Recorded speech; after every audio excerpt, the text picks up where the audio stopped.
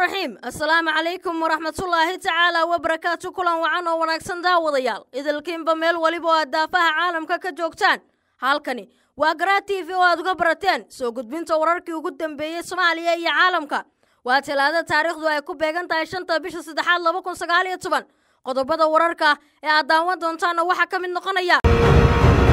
qaar ka mid ah xildhibaanada mucaaradka oo si weyn u dhaleeceeyey maqnaashiyaha madaxda ugu sarraysa dalka xilli weli shacabka magaalada muqdisho ay la daalaadhacayaan dhibaatadii ka soo gaadhay weerarkii ka dhacay magaalada muqdisho.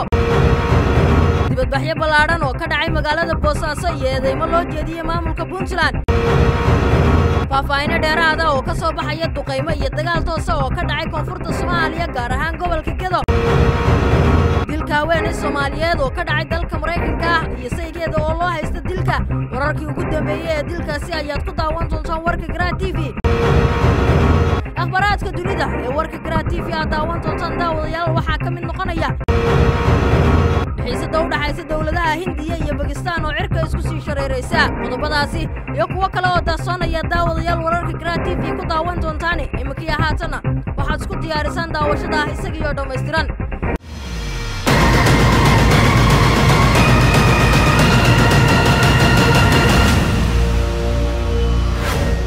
aynu ku bilownay daawadayaal sidii hordhaca warkaba aad ku maqlayseen. Qaar ka mid ah xildhibaanada mucaaradka ah ee ku jira baarlamanka soomaaliya ayaa si weyn uga soo hor jeestay madaxda ugu sarraysa dalka oo ka maqan magaalada muqdisho xilli weli shacabka muqdisho ay la daalaadhacayaan. Dhibaatooyinkii ka soo gaadhay weerarkii habeenkii khamiista ka dhacay waddada makaal mukarama qaar ka mid ah xildhibaanadani oo qoraallo kala duwan ku soo qoray bogaga ay ka isticmaalaan baraha bulshada gaar ahaan twitterka ayaa gebi ahaantoodba waxa ay ka sinaayeen inay si weyn u dhaleecaynayaan. Maqnaashiyaha madaxweynaha jamhuuriyadda federaalk soomaaliya guddoomiyaha baarlamanka wasiirka amniga dalka iyo sidoo kale wasiirka arrimaha dibadda oo dhammaantood ku maqan safarra dalka dibaddiisa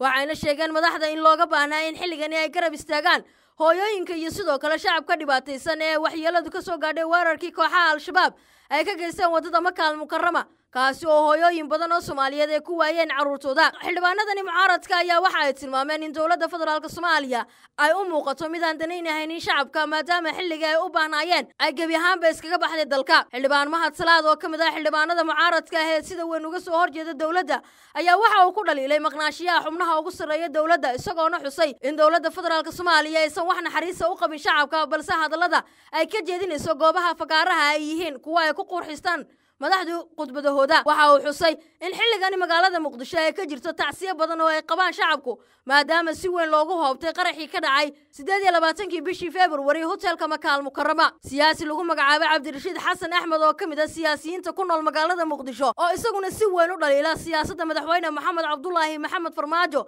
ayaa waxa uu laga anfariire ku tilmaamay safarka uu maanta madaxweynaha qaranku uga baxay. Waxa uu tilmaamay in saddex maalin kadib uu booqday dadkii waxyeelada uu ka soo gaadhay qaraxa isagoona aan gebi ahaanba aan booqashada ku tegin dhammaan goobaha ay yaallaan dadkii waxyeeladu soo gaadhay balse keliya uu tegay hal goob. Taasina ay ku caddaynayso sida aysan madaxdu wax niyada ugu haynin la jooga shacabka soomaaliyeed. Waxa uu tilmaamay in markii la dooranayay madaxweyne maxamed cabdulaahi farmaajo siddeeddii bishii februari sannadkii labadii kun iyo toddobiyo tobankii shacabka soomaaliyeed ay si weyn ugu riyaaqeen iyagoona sheegay inay heleen hogaamiye dareemi kara dhibka shacabka balse arrintaasi iyo weliba riyadii shacabku ay noqotay mid haatan hog dheer ku sii dhacaysa wararka ka imaanaya magaalada boosaaso ee xarun ganacsiyeedka gobolka bari ayaa waxa ay ku waramayaan in halkaasi maanta uu ka dhacay banaanbax xoogan oo ay dhigayeen qaar ka mid a shacabka ku nool magaaladaasi dadkani banaanbaxa dhigaya ayaa ahaa kuwo aada uga xadhaysan islamarkaana ka soo horjeeday. Amaro shalay ka soo baxay mas'uuliyiin ka tirsan maamulka puntland kaasi oo ku aadan in la xidhayo suuqa kalluunka iyo marsada ku dhex yaalla dekeda magaalada boosaaso sidoo kale banaanbaxayaasha ayaa waxa ay sheegeen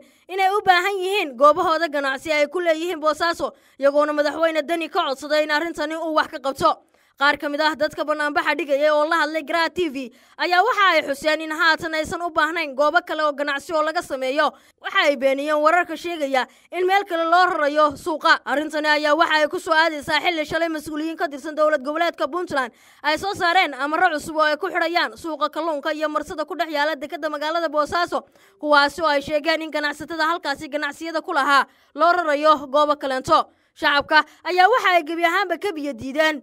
in loo raro goobo kale. Waxayna madaxweynaha maamulka puntland siciid cabdulaahi maxamed deni ku eedeeyeen inuu qorshe kale ka leeyahay goobahani iyaga laga rarayo iyagoona taasi sheegay inaysan ahayn wax dhici karaa weli daawadayaal wararka gobollada dalka ayaan ku guda jirnaa wararkana ka soo gaadhaya deegaanka busaar oo ka mid a gobolka geda ayaa sheegaya in weerar iyo duqaymo toosa ay ka dhaceen deegaankaasi. Sida ay ku waramayaan saraakiisha ciidamada dowladda ee ku sugan gobolka gedo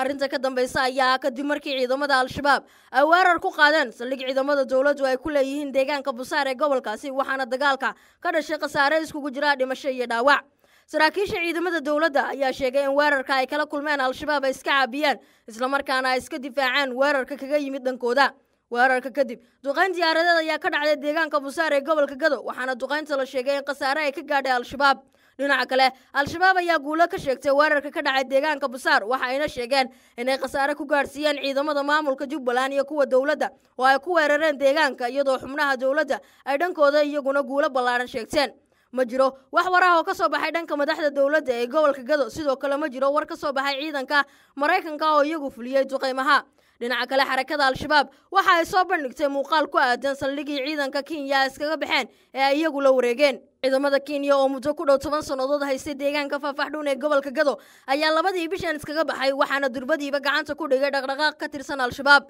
Sida ka muuqata muuqaalada ay soo bandhigeen al-shabaab ciidamada kenya ayaa xerada ka tegay iyadoo sideedii u dhisan iyo qaar ka mid ah agabyadoodii afhayeenka ciidanka xarakada al-shabaab ayaa waxa uu sheegay in halkani ay ka heleen zaanad militari oo ay ka tegeen ciidanka dowladda dalka kenya al-shabaab. Ayaa waxa ay dagaal toosa kula jirtaa maamulka jubbaland oo garab ka helaya ciidanka midooda afrika amisom iyo sidoo kale kuwa maraykanka ee loo yaqaana africom kuwaasi oo diyaaradahoodu ay duqaymo u geystaan balse al-shabaab waxa ay sheegtaa inta badan in diyaaradahaasi ay noqdaan kuwo ay duqaymahooda waxyeelo ka soo gaadha dad shacab ah balse aysan al-shabaab wax dhibaato ah ka soo gaadheen booliiska magaalada sandiego ee gobolka californiya ee dalka maraykanka ayaa sheegay in meydka haweeney soomaali ah laga helo dhismo ku yaalla deegaanka. Ay jaaliyadda laga tirada badan yihiin ka degan yihiin xaafadda city hightis ee magaaladaasi shaki xoogan ayaa laga muujiyey qaabka loo dilay marxuumadaasi oo la odhan jiray muune kuuri oo lix iyo soddon sano jir ahayd waxaana dhaawacyo xoogan kaga yaalaan qaybaha sare ee jidhkeeda ah iyadoo madaxeeda dhiig badani ka daadanayey warbaahinta m b c san diego dot com ayaa qortay in meydka haweeneydaasi shalay subax laga helay sariir dhex taala dhismaha ay ka deganeed xaafadaasi. Haweeneydani soomaaliyeed ayaa la sheegay in la waayey maalinimadii sabtida ahayd iyadoona si weyn looga raadiyay xaafadaha kala duwan ee magaalada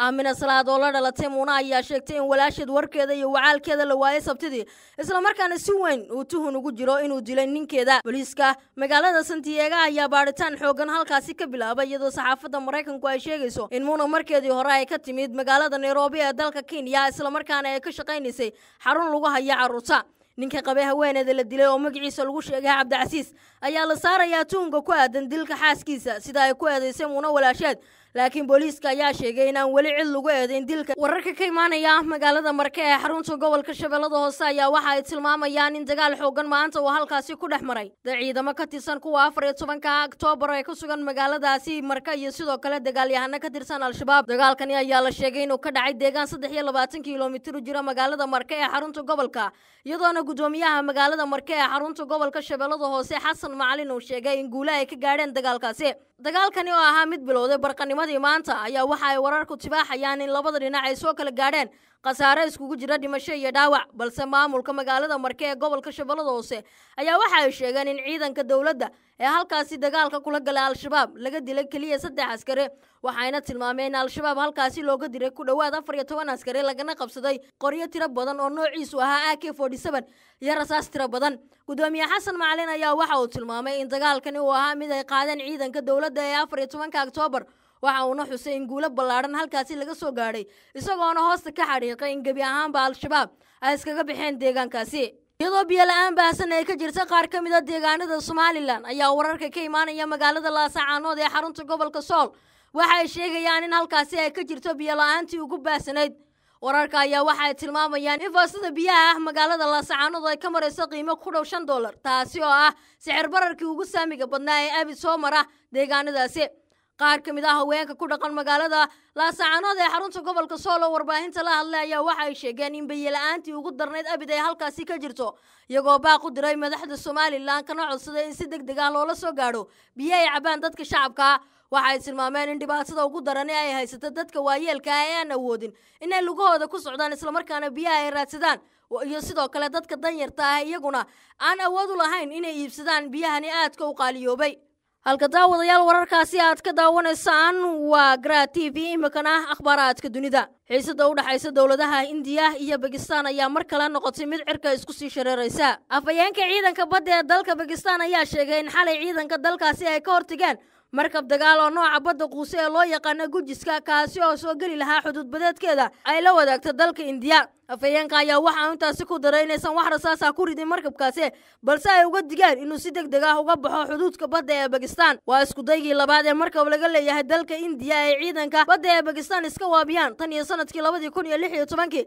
Isagoona afhayeenka ciidanka badda ee dalka bakistan sheegay in hadda wixii ka dambeeya aan loo dul qaadan doonin in lagu soo xadgudbo biyaha dalka bakistan waxa uuna ugu baaqay dowladda indiya inay xakamayso maraakiibteeda. Guud ahaantaa wadayaal war waxaan idinka haynay dalka iyo adduun weynaha oo aad ka daawanaysaan karaa t v waa inta. Intaan ku kulmi doono mid lamida waxaan idinkaga tegaynaa sidaas iyo nabadgelyo